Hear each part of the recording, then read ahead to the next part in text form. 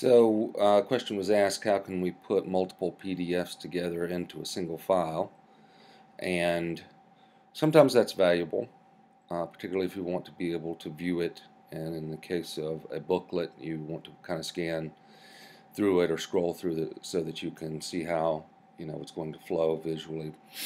Um, in terms of sending it to the printer, they are probably going to want it in a single file for each page. So it's definitely uh, not necessary to put them all together into a single document to send to the printer. And multiple pages will grow file sizes. So just kind of be aware of that. But you certainly can put pages together. And so what you do is you start off with a single PDF and open it. So we're going to open Michelle's here and we've got the cover.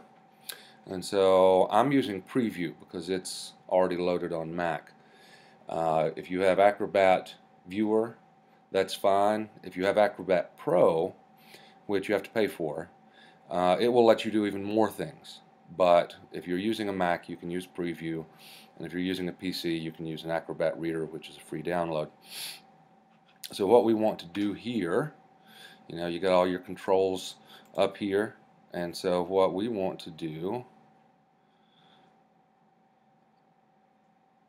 is insert. We're going to go page from file. We can go to the desktop where we have some other pages here. And we'll go ahead and put page 1 in. Actually no we're not. We're going to put page 0, which is the back of the front cover. There we go. And so now, actually, it uh, must have selected two by accident. It brought both in, but they are in the right order, so that's fine. So now we've got them here. We can, you know, bring in another one.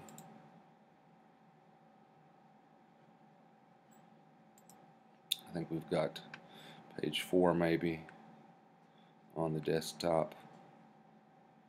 One, two, three. No, it's just pages one, two, three, but we're missing that one.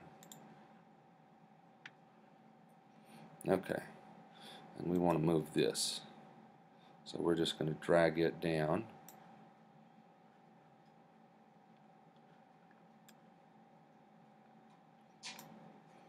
Put it underneath so that we can see them all in the correct order here. Now of course you can go to any of these just by clicking on them just like um, in any other PDF but you can view them a couple of different ways too. So we can go over here and we can select continuous scroll single page or two pages. We can also do the same uh, selections over here depending on how we want to see it.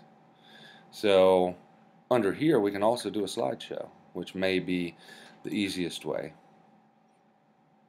So now we can scroll back and forth between the pages, cover, back of the front cover, facing page, back of that page, and that simply allows us to be able to see, you know, in a single setting without having to open individual documents how these are going to flow once it's turned into the booklet.